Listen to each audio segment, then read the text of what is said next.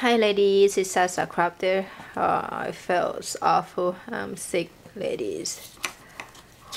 Uh, anyway, I just finished alter my um, cardboard mailbox. Isn't that pretty? I love it.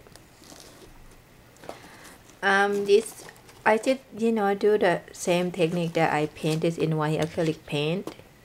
This one and when it dries, so I use this ink pad from Stampin' Up a real red. So because I want to get like a tone of red when I distort with the real red and then I apply with the cheap white hot glue there and then I paint it in white acrylic paint again.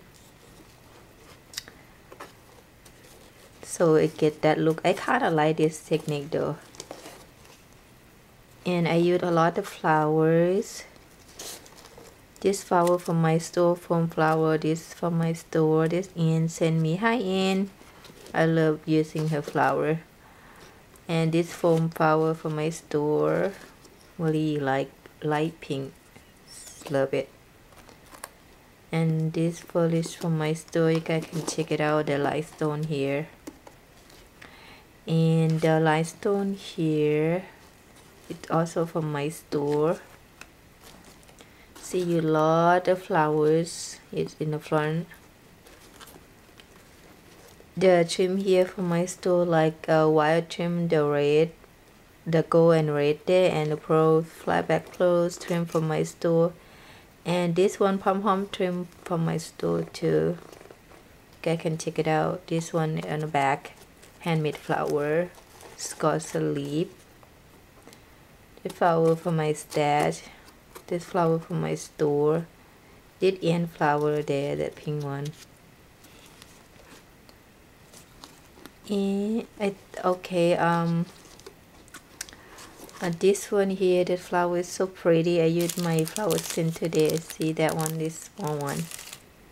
Little tiny flower there on the crochet I don't know how to close the mailbox so I use the brad there and uh, adhere to the flower there.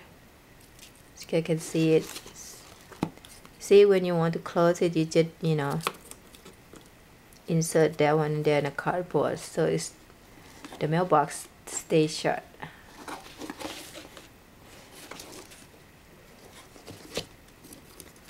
so open you see inside.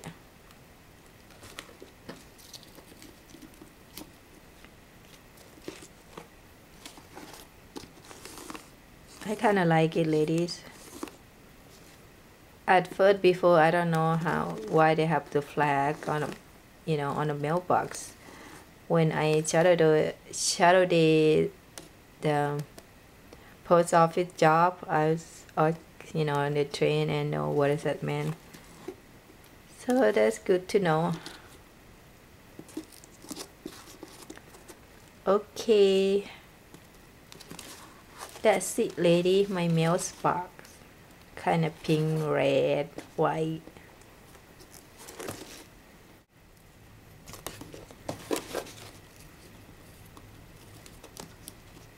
alright ladies. Thank you lady for keep watching my video. Bye